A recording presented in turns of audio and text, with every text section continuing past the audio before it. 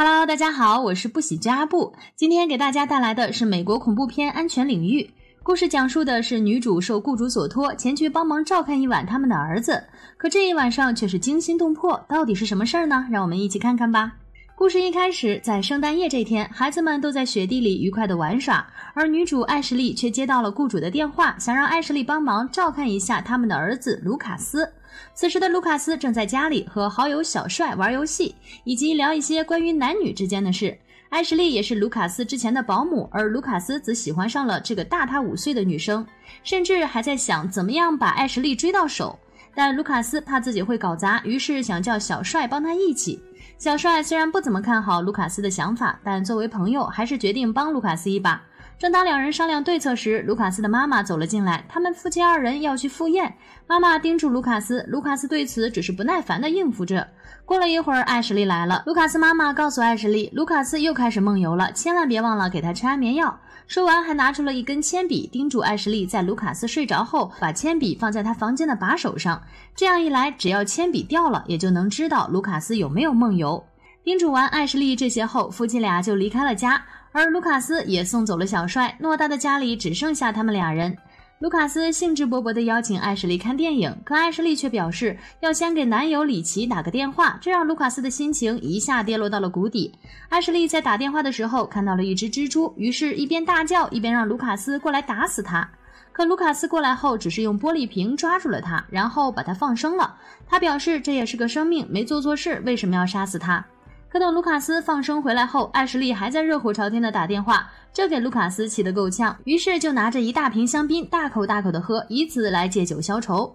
艾什莉看到后，立刻拿走了卢卡斯手里的香槟，毕竟卢卡斯年纪还太小，没有到喝酒的年纪。之后，两人一起坐在沙发上看恐怖片，期间卢卡斯还时不时的向艾什莉透露爱意，可艾什莉却以卢卡斯年龄太小的原因拒绝了他。突然，艾什莉想起忘订披萨了，正打算定时，门铃响了。打开门一看，竟然是个送披萨的。可两人谁都没有点过外卖。卢卡斯以为是他爸爸订的，也就没有多想，直接付完钱后就立刻在桌上摆上了蜡烛，看样子是想来一场烛光晚餐啊。可当打开披萨一看，艾什莉觉察出了一些不对劲，因为卢卡斯是不吃蘑菇的，可这里面却有蘑菇。如果是卢卡斯爸爸订的话，是不可能不知道的。但卢卡斯却只是敷衍说：“那可能只是装饰品而已。”所以艾什莉最后也没有太纠结这个问题。接着，俩人一边吃披萨一边看恐怖片。到了特别恐怖的场景时，艾什莉吓得死死地握住了卢卡斯的手，这让卢卡斯有些小鹿乱撞了，直接上前想要强吻艾什莉，可却被艾什莉拒绝了，场面陷入了尴尬之中。正当这时，一个电话打了进来，打破了两人的尴尬。这是一个恐吓电话，内容是有个陌生男人能看见艾什莉他们的一举一动。起初，艾什莉以为是恶作剧，想去厨房拿水管喷搞恶作剧的人。可等到厨房一看，窗户竟然开着，艾什莉开始慌了起来。她迅速关上了窗户，然后让卢卡斯把手机扔给他报警。可卢卡斯却不太给力，一扔竟扔到了鱼缸里。艾什莉生气的边走边向鱼缸边脱衣服，准备取出手机。这时，突然有人敲门，两人小心翼翼地走向门口，可通过猫眼看了看，没有人。随着敲门声越来越急促，胆大的卢卡斯打开了门。突然向他冲过来一个黑影，把卢卡斯扑倒了。反应过来一看，原来是小帅的恶作剧。艾什莉以为之前的恶作剧也是他，于是生气的斥责他。可小帅却表示那个并不是他。正说，这时楼上的玻璃砰的一声碎了，显然是有人跳窗进来了。接着，艾什莉拿着刀在前面，小帅和卢卡斯躲在艾什莉后面，几人一起上了二楼。在二楼的一个房间里，他们发现窗户被砸碎，里面还有一块砖头。眼看势头不对的艾什莉想要报警。可手机和电脑却都没有信号，艾什莉又想到开车逃跑，可打开窗帘一看，外面停着的车的车胎竟然被刀子扎漏气了。这时，小帅又把那块砖头拿过来给他们看，那块砖头上竟写着“谁出去谁就会死”的话语，这给艾什莉吓一跳，赶紧让他们去二楼。可小帅却突然抱着砖头冲了出去，结果就被一枪射中，倒在了树丛后面，雪地上还有一滩鲜红的血迹。艾什莉吓得赶紧关上了门，然后带着卢卡斯来到了阁楼里。可这时，想要展现自己男人一面的卢卡斯，非要下去找他爸爸的枪，然后关键时刻可以与犯罪分子斗智斗勇。两人顺利找到枪后，艾什莉赶紧带着卢卡斯躲进了衣柜里，大气都不敢出。随着举着猎枪的犯罪分子离他们越来越近，艾什莉吓坏了，和卢卡斯紧紧地抱在了一起。可过了一会儿，艾什莉透过衣柜缝隙竟看出了不对劲。这犯罪分子戴的是卢卡斯的面具，而且身形特征和小帅很像。于是艾什莉走出了衣柜，揭穿了小帅的身份。原来这一切都是卢卡斯设计好的。原因是因为他在书上看到过，恐惧可以让女生兴奋，所以他就让小帅扮演犯罪分子，然后在关键时刻英雄救美，保护艾什莉的安全，以此来获得艾什莉的芳心。可现在却暴露了，艾什莉很是生气，对着卢卡斯一顿训斥。你以为这样就能展现你的男人气概了吗？你以为这样就能获得女孩的芳心了吗？其实你这样只会让人感觉你更加幼稚无能。之后还说了一些很伤卢卡斯自尊的话，并表示要打电话告诉卢卡斯的父母。然后说完就生气的转头离开了。被伤到自尊的卢卡斯追上了艾什莉，然后冲过去给了艾什莉一巴掌。被打的艾什莉从楼梯上滚了下去。等他再醒来时，已经被绑在了椅子上，嘴巴也被胶带粘住了。之后，卢卡斯拿枪对着艾什莉威胁他，在撕掉嘴上的胶带后不要喊，一旦大喊他就会开枪。接着撕掉胶带后，卢卡斯又和艾什莉玩起了真心话大冒险的游戏。甚至卢卡斯还上前摸了艾什莉的胸，艾什莉对卢卡斯很失望，他不知道事情怎么会变成这样。艾什莉认识卢卡斯很多年了，卢卡斯一直在他眼里都是乖巧懂事的孩子，怎么现在竟变成了这样无理的人，甚至还拿枪对着他？艾什莉警告卢卡斯和小帅，如果再不住手的话，是会受到惩罚的。可现在的卢卡斯已经完全沉浸在自己的世界里，他觉得是不会有人发现他的。可小帅却觉得事情闹得太大了，而且卢卡斯也不让小帅碰艾什莉，这让小帅觉得再待下去也没意义了，于是决定离开。卢卡斯见其上前阻拦，两人在门口争执时，被绑着的艾什莉艰难地移动到了桌旁，拿到了一个手电，然后朝着窗外一开一关，想试图通过闪光来向外面的人求救。可没过一会儿，争执后的两人就回来了，他们发现了艾什莉的动作，于是卢卡斯又换了新的玩法，那就是把迷药倒进了酒里，让艾什莉喝下去。当艾什莉第二天醒来，也就什么都不记得了。而卢卡斯则会和父母解释，说是艾什莉偷喝了酒柜的酒，导致晕了过去。这样一来，卢卡斯的父母就不会知道他做的事了。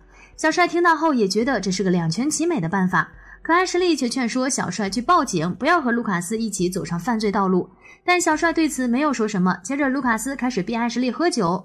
艾什莉拒绝了，并一头把酒撞碎在了地上。卢卡斯对此有些生气。正当他要采取措施时，门铃突然响了。艾什莉大喊救命，卢卡斯赶紧给艾什莉的嘴贴上了胶条，然后来到了门前，一看原来是里奇。本来卢卡斯是想要打发走里奇的，但是里奇却执意闯了进来。进来后到处寻找艾什莉，这给卢卡斯和小帅弄得是手足无措。艾什莉这边从椅子上摔了下来，然后拖着椅子朝地面的一小块玻璃碎片爬去。刚拿到手，小帅就走了进来，并把它恢复到了原位。而另一边，卢卡斯趁里奇想给他一棍子，但被里奇发现了。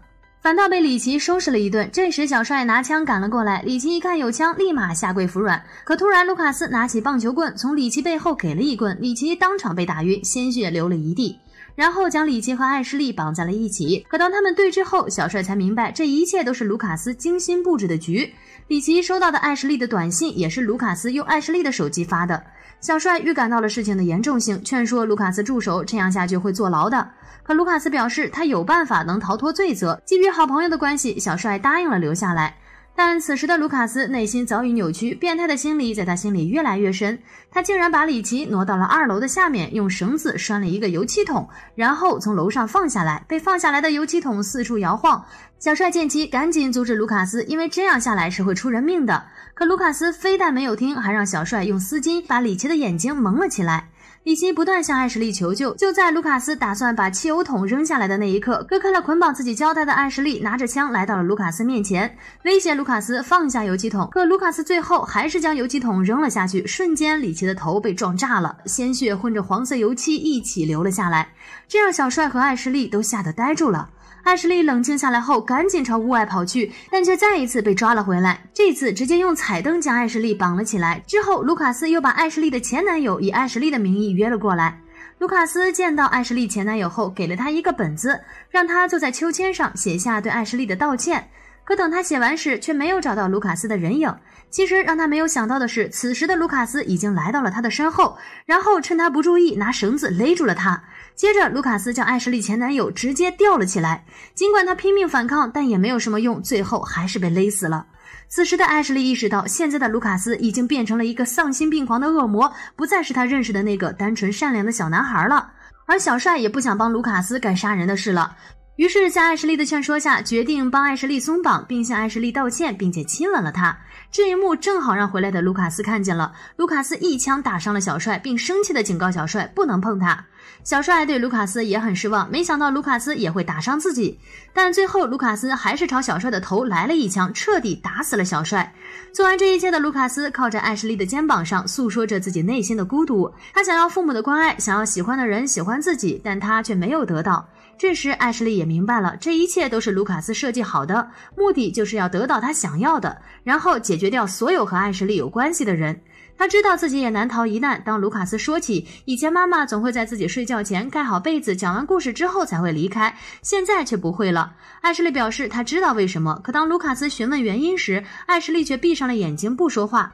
被逼急的卢卡斯直接拿小刀刺中了艾什莉。杀完人的卢卡斯异常冷静，仿佛还有一丝开心兴奋的感觉。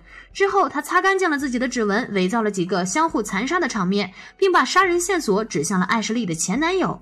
然后回到了床上，假装睡觉，一切就像什么都没有发生过一样，又恢复了以往的安静。当回到家的妈妈惊恐地抱着卢卡斯时，卢卡斯的嘴角露出了一丝诡异的笑容。也许这就是他想要的关爱吧。可前来调查的警察却表示，艾什莉并没有死。原来艾什莉忍着剧痛，用胶带粘住了伤口，止住了血，保住了性命。而艾什莉被抬上救护车的那一刻，对在窗户旁看着的卢卡斯竖起了中指，意思就是你会受到惩罚的。电影到此结束。回顾整部影片，全程都很惊悚，让人有种提心吊胆的感觉。卢卡斯在外人看来是一个乖巧懂事的孩子，就连他的父母和艾什莉都没有看出来他的另一面。其实这跟父母爱的缺失也有关系。没有一个父母会在得知孩子患有失眠症时不去医院查看的，也没有一个父母会在重大节日里选择去赴宴而不是陪孩子的。所以父母的陪伴和关爱很重要。也许孩子性格上的差异就和父母的关心和教育有很大的关系。好啦，我是不喜之阿布，我们下次见。